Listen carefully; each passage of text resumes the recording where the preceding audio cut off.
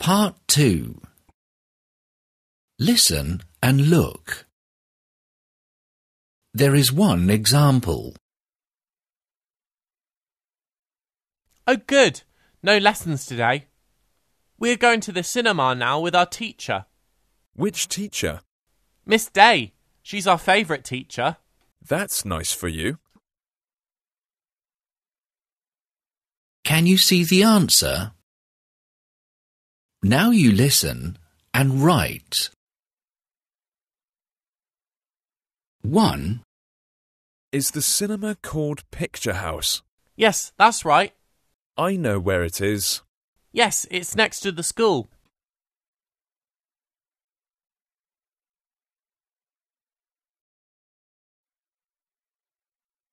two, What film is on? It's a funny film. Three friends go to a town near the sea. I know what it's called. It's called A Nice Holiday. Yes, that's it.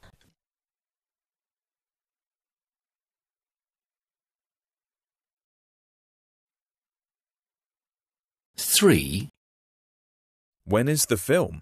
It is on in the afternoon. Good. Then you can have lunch before the film. What about going to the restaurant opposite the bus station? Okay, that's a good idea.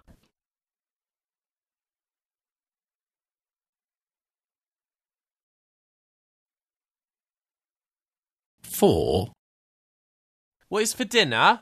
We can have chicken for dinner. Good. It's my favourite food. Okay, you can have a lot then.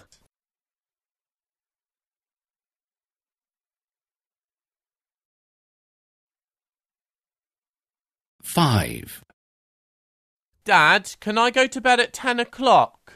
No, you have school tomorrow. Please! I said no. I don't want you to be tired for your lessons tomorrow. But I want to watch my favourite football team on TV. Oh, okay then. But don't tell me you are tired tomorrow.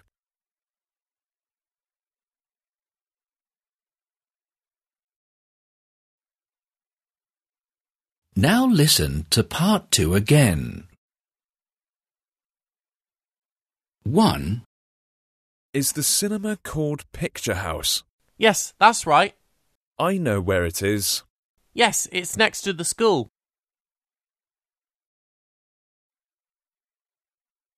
two, What film is on? It's a funny film.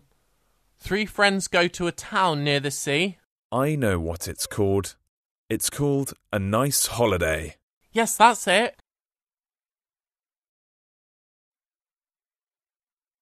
three, When is the film? It is on in the afternoon. Good. Then you can have lunch before the film. What about going to the restaurant opposite the bus station? Okay, that's a good idea.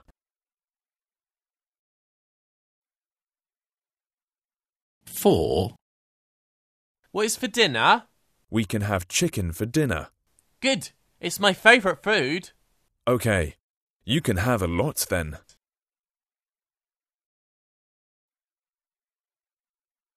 five, Dad, can I go to bed at 10 o'clock? No, you have school tomorrow. Please! I said no. I don't want you to be tired for your lessons tomorrow. But I want to watch my favourite football team on TV. Oh, okay then. But don't tell me you are tired tomorrow.